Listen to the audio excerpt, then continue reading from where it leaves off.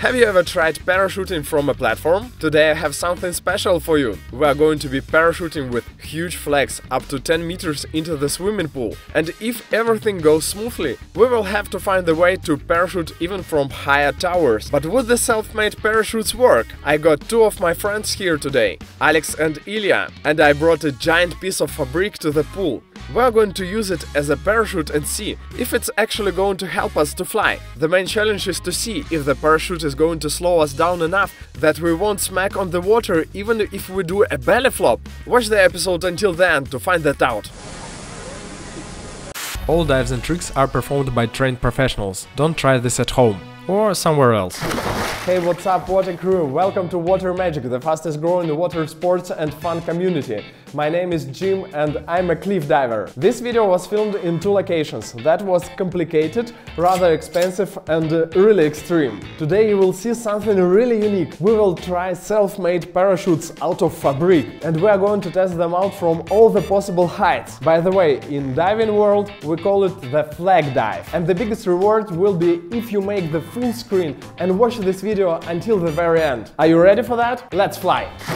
We're going to start on a 5 meters platform. Ilya is saying that 5 meters is not going to be enough for us to actually fly. But I really do not want to go to 10 meters right away. I think I should start by running so I have more speed at the beginning of the flight.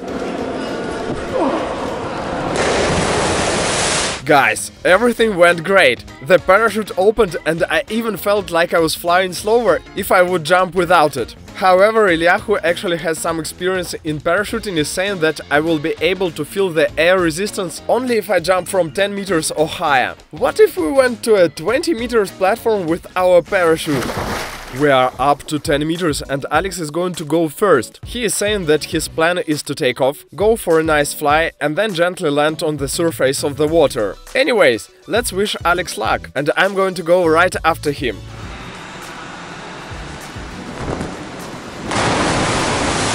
I think we should film someone doing the same dive without the parachute, so we can compare the speed of two dives. Alex says that he definitely felt the slowdown. To prove that parachute is working, I'm going to jump off 10 meters without it.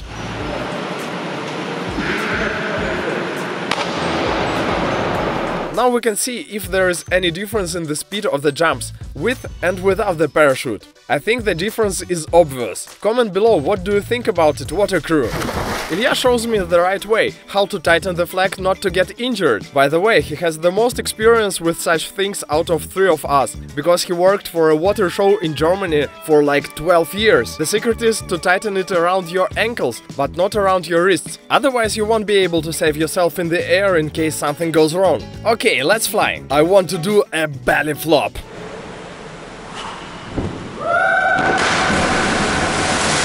You can see on the replay that I really got a slowdown. However, I didn't land on my belly, because the flight was fast enough for me to smack and get hurt. I landed flat on my back in one other episode from this pool, and I never want to experience that again.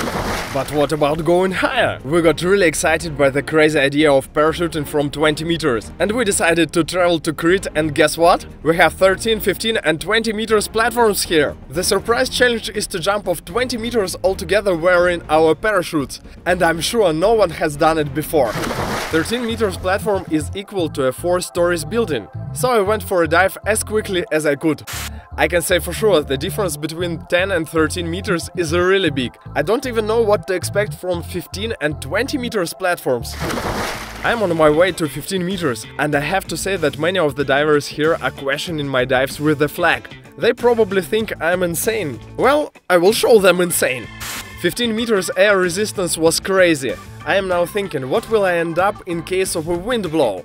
All I can say right now is that I'm more than happy that how 15 meters jump went. The flags makes the entry much softer on my feet, which is really nice. I was twisted a little, so I have to fix that on 20 meters. Why am I doing that again? I don't know guys, I guess the adrenaline I get from diving is what keeps me going.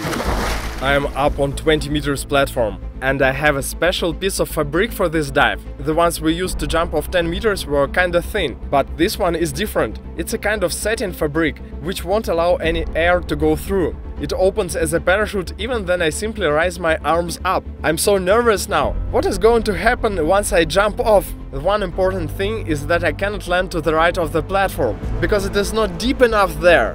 The final dive of the episode is to be performed by me, Alex and Lasse Schaller. You should have heard about him. Lasse has the world record for diving of the highest platform. He dove of 58.8 meters. Comment if you would like to see an episode with him. He is a truly amazing person.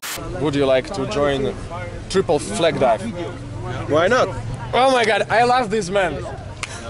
So we have to come up with a plan on how three of us can jump from here simultaneously. I think one of us would need to jump as far as possible this way, the other one will be here, and the last one somewhere there. This way we hopefully won't hurt each other.